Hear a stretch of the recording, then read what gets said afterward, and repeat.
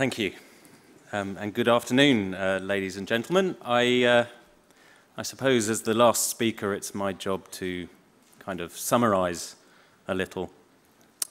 After the past um, two days, you have been deeply immersed in the Holocaust and its aftermath. I think it's, it's, quite, it's actually quite important that we acknowledge that this is not a pleasant subject. It's, it's exhausting. I know that we all try to approach this subject from an intellectual point of view. In fact, the, the whole idea of a, a, conference about the subject um, immediately puts us in a, an intellectual frame of mind. But even so, it's impossible not to be affected by the things that we've been talking about. It's emotionally very draining. And when you add to this the fact that today is International Holocaust Remembrance Day, it becomes even more draining. Today, of all days, we have a weight of memory upon us which can be difficult to bear. Now, I have the honor of giving the final lecture in this conference, but I imagine that some of you are possibly secretly happy that it's nearly all over. After I finish talking, we'll have the closing address, and you can all go home.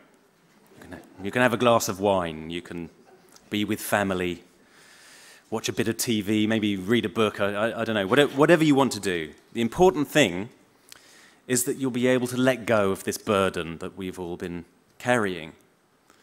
Now, I'm not trying to suggest that uh, we don't all love our work, and I think that all of us recognize how important it is to have the strength to confront this dark subject. Nevertheless, it will be a relief. But before you all go home, I want you to hold on just a little bit longer and take another look at this burden, this Holocaust. What I want you to do is to try to see it in its context, not only the context of uh, you know, Jewish history or Holocaust history, but in the context of Europe as a whole. Because, of course, the Holocaust did not take place in a vacuum. It took place during the most destructive war the world has ever seen. And the aftermath of the Holocaust didn't take place in a vacuum either. It took place during a, a time of turmoil, when a new world was forming, with new superpowers, new international institutions, and new national governments, all of them feeling their way through the chaos. So we shouldn't look at the Holocaust or its aftermath without at least taking this context into consideration. So, what did Europe look like after the war? Well, first of all, let's look at the cliche. When most of the world looks back at the aftermath of the war, particularly in, in Western Europe and America, what we remember is the, the victory celebrations. We remember people dancing in the streets of London or walking arm in arm down the Champs Elysees in Paris, waving Allied flags. We remember the fireworks above the Kremlin in Moscow and of course, sailors kissing nurses in, in New York's Times Square.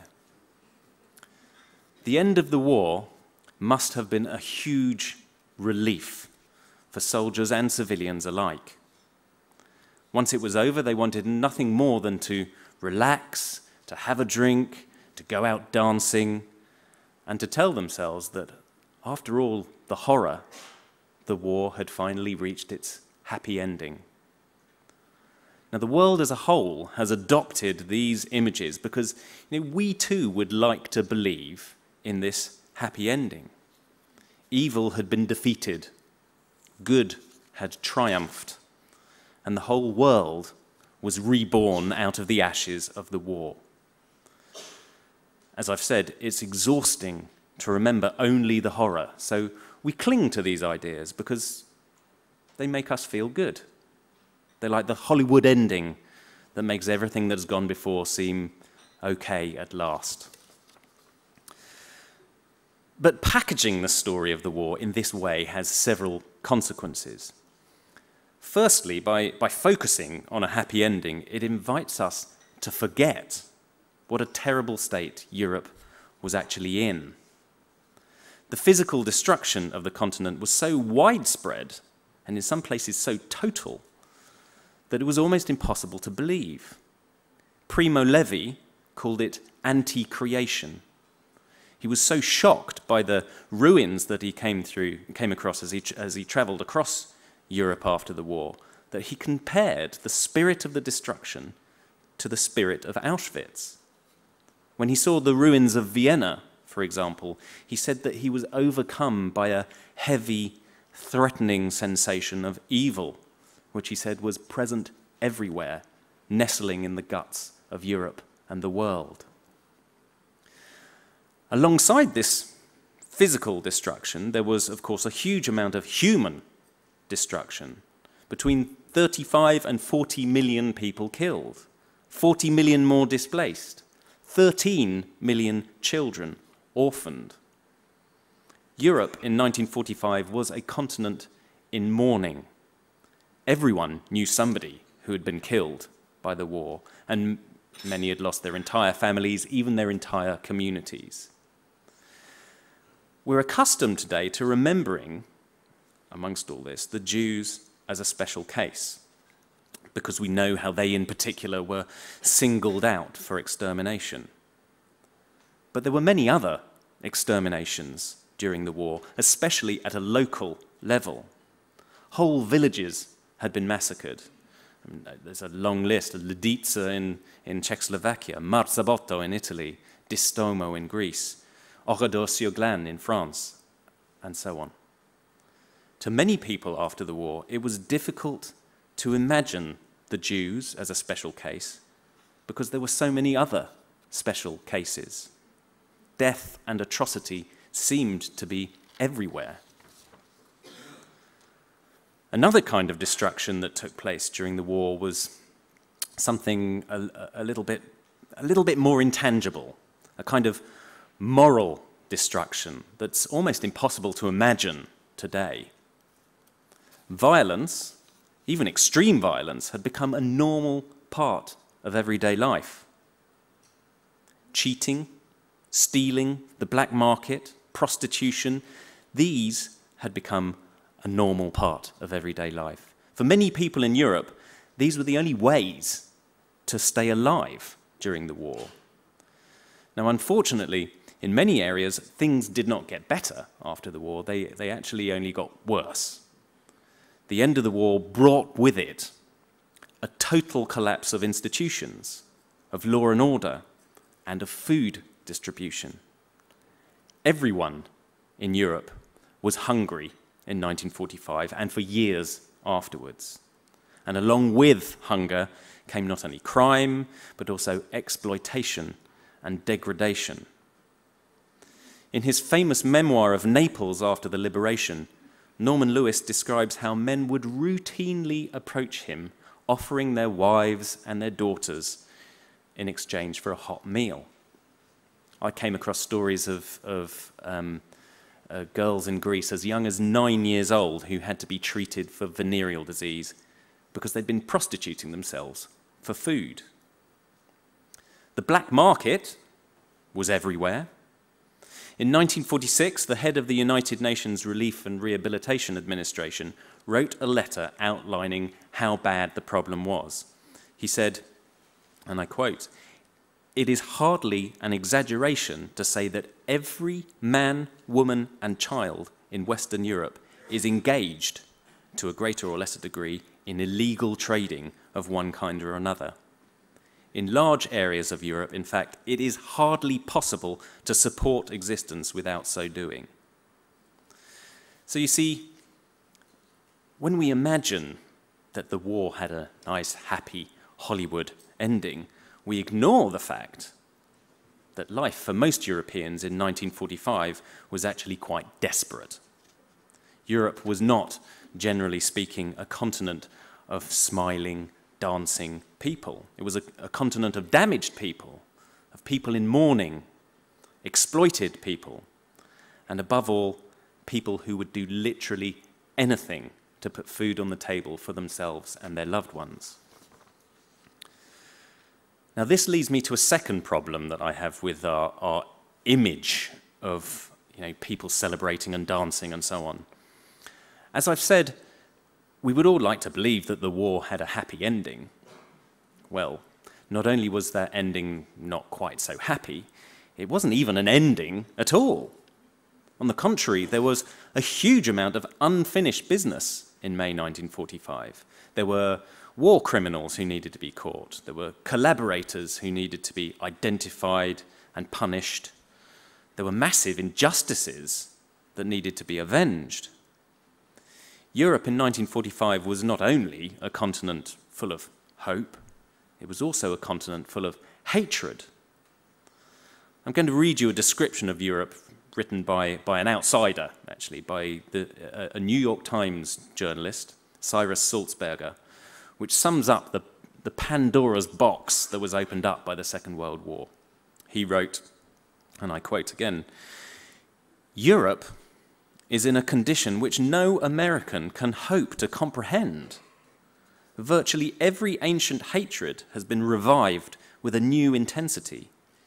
Frenchman, Italian, Russian, Pole, Czech, Serb, Greek, Belgian, Netherlander, Romanian, each in his own way hates the German with a personal frenzy.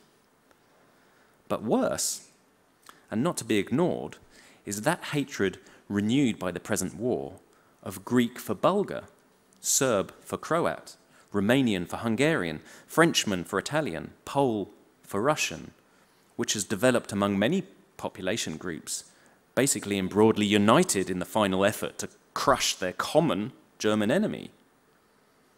And worst of all is that fratricidal hatred of Greek for Greek, Frenchman for Frenchman, Serb for Serb, and Pole for Pole, based on differing social and political conceptions, fostered and encouraged by chaos and unleashed by the war.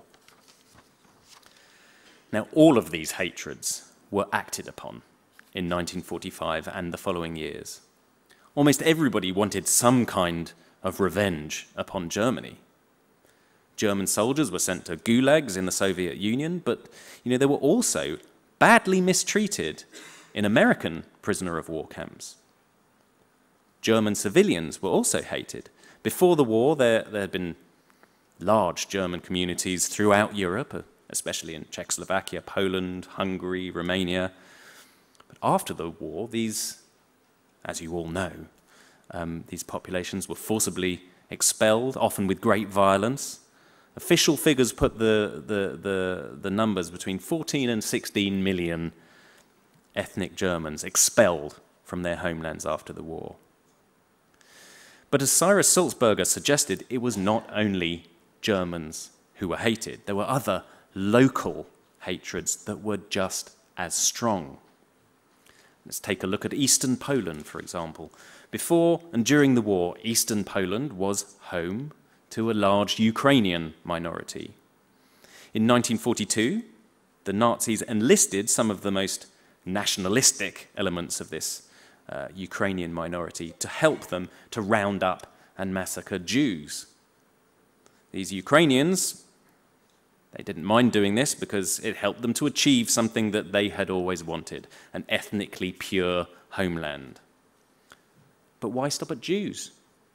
Later in the war, these same Ukrainian nationalists used the techniques that they had learned during the Holocaust to massacre Poles as well. And then, of course, the Poles reacted in kind, and a cycle of ethnic cleansing started up that lasted long after the Germans had left, and in fact, long after the rest of the war was over. It, it culminated in 1946 and 1947 with a population exchange between Poland and Ukraine, and the total expulsion of Ukrainians from the Polish borderlands. And, you know, this is just one example.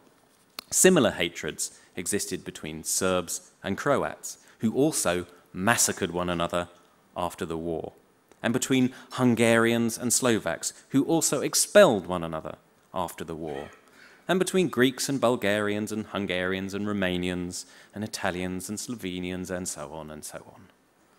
It was the Second World War that sparked these hatreds. But you know, it's, it's much easier to light a fire like this than it is to put it out.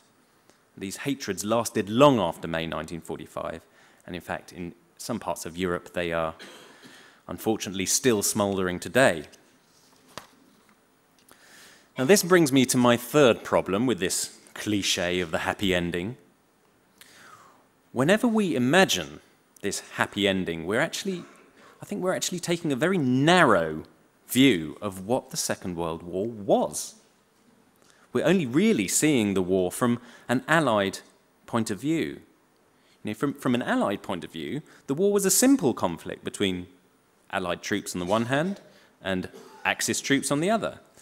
But beneath this overarching conflict, there were all sorts of other smaller wars going on. As I've mentioned, Ukrainians and Poles were also involved in their own civil war. What did they care when the Germans surrendered in May 1945?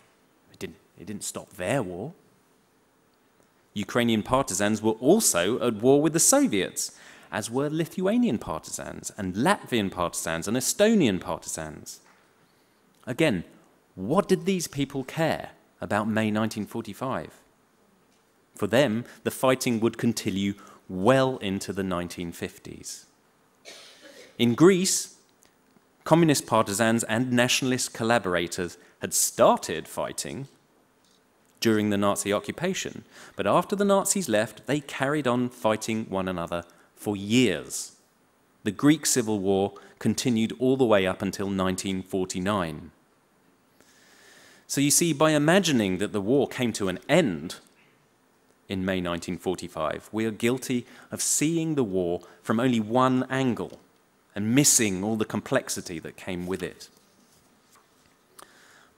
I'll tell you a story, actually, which I hope will demonstrate just how complicated and, and, and multifaceted the Second World War really was. It's a story that I, I came across when I was researching uh, the war in Italy, and I, I think it speaks volumes. And it goes like this In the autumn of 1943, there was a group of Italian partisans hiding out in the forests at the foot of the Alps. Uh, this unit was part of a communist brigade, so they were committed not only to fighting against the, the Germans, but also against the Italian fascists who were still in charge of this part of northern Italy. Anyhow, one day, these partisans are out in the forest when they came across three Germans, three German soldiers. They, these Germans weren't a patrol or anything, they were just three men, three, so they were actually on leave. And they just happened to have gone out for a walk in the forest, not realizing that the forest is crawling with partisans. Anyway, these partisans captured these, these German soldiers, and as you can imagine, they were quite pleased with themselves But they were actually still quite inexperienced men, and so they, they, they didn't really know what to do with these prisoners once they caught them. They couldn't really keep them prisoner because you know they, they simply didn't have the facilities, and anyway, they were always on the move. But they couldn't really let them go either. So, after a lot of arguing, they decided that they had no option but to shoot them. So they drew lots to see who was going to be given this gruesome task. And unfortunately, the partisans who got the short straw refused to shoot these Germans. And another great big argument broke out between them. The problem was that during their interrogation of these three German men, they'd found out that during peacetime, the, these three Germans were, uh, you know, they were, they'd been ordinary workers, just like the partisans themselves. Surely it wasn't right for communists to kill their fellow workers, even if they did happen to be German. Furthermore, these, um, these men hadn't volunteered for the army, they were conscripts. In other words, they were victims of the, the capitalist system that had compelled them to fight against their will. So, anyway, they, they argued and they argued about this, and, and eventually the partisans held another vote, and it was decided that they should let these German men go free. Now, this might have been a, uh, a rare and refreshing example of empathy between enemies, were it not for what happened next. Because, of course, you know, as soon as these German uh, soldiers were set free, they, They went back to their superior officers and told them exactly what had happened. Three days later, the entire German army descended on this area, and, and the partisans had to flee for their lives. So you see, by granting those Germans their freedom, they hadn't forwarded the, the cause of international communism, they'd just risked their own death. And this group of partisans would never make the same mistake again. From that day onwards, they shot all prisoners without compunction. Now, stories like that demonstrate that the war was nowhere near as simple as we like to think it was. These partisans were not only fighting the Germans in a, in a war of national liberation, they were also fighting a civil war against other Italians and a class war against international capitalism. Three different wars, all at the same time. And as the story makes clear, these three different wars sometimes actually contradicted one another. And it was by no means clear which one of them should take precedence. After 1945, of course, things became much simpler. The Germans had been defeated and chased from the country. The fascists had also been defeated and removed from power.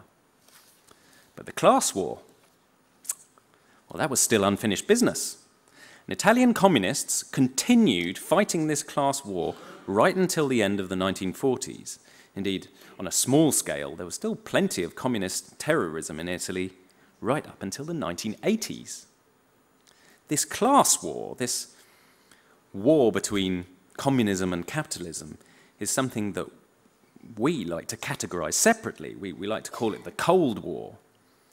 But as the story of these partisans makes clear, it wasn't something new, it was something that had been there all along.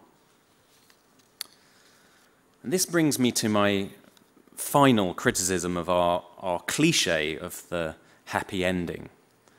As I've said, the, uh, the, the, the idea of a, a nice, neat, happy ending implies that we are looking at the war for, only from an Allied point of view. Well, it also implies that we are looking at the war from a specifically Western point of view, because it ignores the fact that for half of Europe, May 1945 didn't bring an end to totalitarianism at all.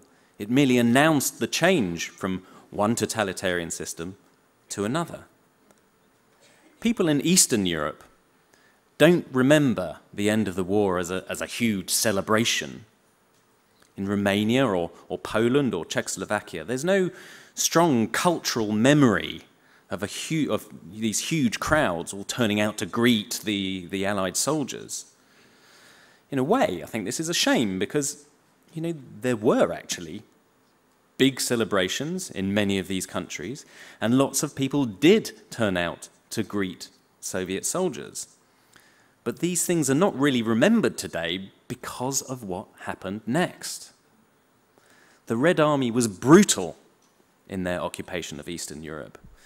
Soviet soldiers had seen so much violence that they thought nothing of raping women that they came across, especially if these women were German or Austrian or Hungarian.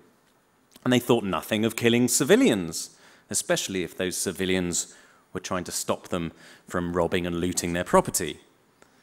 The Red Army inspired fear wherever they went, even in those countries that they were supposed to be liberating. The communists also inspired a, a similar kind of fear because wherever they rose up in Eastern Europe, they always had the threat of the Red Army behind them. When the communists finally took over Romania, for example, there was no big civil war to announce it. But the threat of violence was always just beneath the surface. King Michael was very reluctant to hand over power to the communists, even when he was instructed to by the Soviet deputy foreign minister. He only gave in when the Soviets removed all Romanian troops from Bucharest and replaced them with Soviet troops. In the end, it was the Red Army that made the difference. The fear that the Red Army inspired was the ultimate political tool. And so you see, our cliched view of May 1945 rings false to many Eastern and Central Europeans. People in these regions can't quite bring themselves to remember the joy that came with the end of the war, because that joy was so short lived. Totalitarianism was not defeated in 1945, it went on for another 44, 45 years. So, this is what Europe looked like in the immediate years um, following the Second World War. It was indeed a place of celebration, but it was also a place of desperation. It was indeed a place of hope and new beginnings, but it was also a place of hatred and resentment and unfinished business. When Jews returned from the concentration camps, they found themselves in a continent that was physically destroyed, psychologically traumatized, and morally bankrupt. They were surrounded by starving people who had their own worries and who were not interested in hearing about the specific suffering of the Jews. They were also surrounded by angry people, people with grievances, people who wanted revenge. And in many areas, the war was still taking place, maybe on a smaller scale, sometimes under a, a different name but often just as savage as the main war had ever been. The general atmosphere was one of chaos and lawlessness, certainly not an atmosphere where anyone, let alone a concentration camp survivor, could feel entirely safe. Now, over the course of this conference, you will have heard many stories about Jewish survivors and their experiences after the war. I could, I could add many more. I could, I could tell you the story of the Jewish man that I interviewed in London who returned to Poland after the war to see if he could find his relatives. Instead, he found himself robbed and put up against a wall to be shot and was only saved by the fact that he was only a boy and one of his tormentors finally took pity on him. I could tell you the story of another Jew that I came across who freely admitted to beating Germans up after the war, throwing them from trains, and even killing one who he suspected of being a Nazi. There are many Jewish stories that fit in very easily with the picture of post war and post Holocaust chaos that I, I have described. But instead, I, I, want to, I want to confine myself to two stories because they demonstrate how this idea of the happy ending actually affects our view of the Holocaust and, and the people who survived it. The first story I want to tell you is something that, uh, something that American President Bill Clinton said in, in 1995. Clinton made a speech to commemorate the 50th anniversary of the end of the war. And this is one of the stories he told. I can't do the accents, you just have to imagine this is Bill Clinton speaking. He said, during the war's final weeks, America's fighting forces thundered across Europe, liberating small villages and great cities from a long nightmare. Many witnessed an outpouring of love and gratitude they would remember for the rest of their lives. Deep in the Bavarian countryside, Corporal Bill Ellington piloted his armoured vehicle into a battle against retreating enemy troops. As a firefight raged, a rail thin teenage boy ran, shouting, towards the tank. He was a young Polish Jew, Samuel Pisar, who had survived four years at Auschwitz and other concentration camps, but along the way had lost his entire family. Samuel Pisar had seen the tank and its glorious five point white star from his hideaway in a barn. As Ellington looked down at him, the boy dropped to his knees and repeated over and over the few words of English that his mother had taught him God bless America! God bless America! And Ellington, the son of a slave, lifted the boy through the hatch and into the warm embrace of freedom. I, I love this story. if you want a story that gives a happy ending to the war, you can't do better than that. Samuel Pisar was not only saved by the Americans at the end of the war, he, he also eventually, after several adventures, went to live in America, where he became a very successful lawyer. Samuel Pisar is, is the, is, he's the very epitome of someone who has turned tragedy into triumph. But more importantly, from Bill Clinton's point of view, he's also a symbol of America's greatness. America, in this story, represents not only safety, but also hope and freedom and goodness itself. Clinton used this story as a way to validate the American mission, not only during the war, but after it as well. God bless America, because America fights against the Holocaust and against slavery and against everything that is evil in the world. This is the way that the Holocaust is often represented in American stories and American TV shows, American history books, and of course, American commemorations. The Holocaust is evil, therefore, America is good. Now, I, I don't mean to pick on America here. I mean, we, we all. We all have our national myths. I mean, you do, I do. My country is one of the worst in some ways. But uh, this story shows how this, you know, this idea of a happy ending to the war has been emphasized by the victors because it suits their agenda. You know, we, we actually all buy into this happy ending as well because it suits our agenda too. We all like to believe that the Holocaust taught us something, that we've, we, you know, we've risen above such horrors like a sort of phoenix rising from the ashes. I don't really want to ridicule this belief because I am, in fact, a, a believer in it myself. But I do want to highlight the fact that you know, this is only one side of the coin. By emphasizing this story above all others, we drown out other stories that are equally true but not nearly as well known. So, this is where I come to my second story and this one is the story of a Dutch Jew called Rita Koopman, who was captured by the Nazis in Amsterdam and sent to, to Neuengamme concentration camp. She survived the war, but apart from her two brothers, all of the rest of her family died. When she came back to Amsterdam, she found the whole city in a state of celebration. There were parties in the streets with lots of drunken Canadians everywhere, and she couldn't help feeling just a little bit jealous. She wanted to celebrate too. She wanted to dance and eh, dance around in a big circle and feel part of this big, great big happy ending. So she began to dance. Unfortunately, she'd forgotten that, you know, she had no hair because it had all been shaved off in the labour camp. The only other women in Amsterdam who had shaven heads were those who had slept with German soldiers.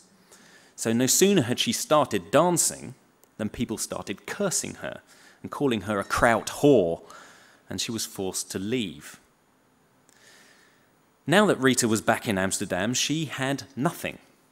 Her home had been ransacked, and most of her property had been stolen. Eventually, she managed at least to, to track down her coat in her imagination, this coat had become something really beautiful, something really luxurious, made of fur and so on. But in reality, it was actually quite a shabby thing with just a little bit of fur around the collar and over the pockets. When she confronted the woman who had taken it, the first thing this woman said to her was, I must say, quite a lot of your people seem to have come back after all. You're lucky you weren't here we suffered such hunger. There was no trace of irony in this woman's voice. She, she genuinely believed that non Jewish Dutch people had suffered more than the Jews. When Rita asked for her coat back, the woman refused to give it to her. No matter how much Rita argued with her, this woman refused to acknowledge that the coat had ever been Rita's. Eventually, she burst into tears. She walked up to the woman and started attacking the coat. She ripped off the fur from the, the collar and from the pockets, and then went and threw these pieces of fur in the River Amstel.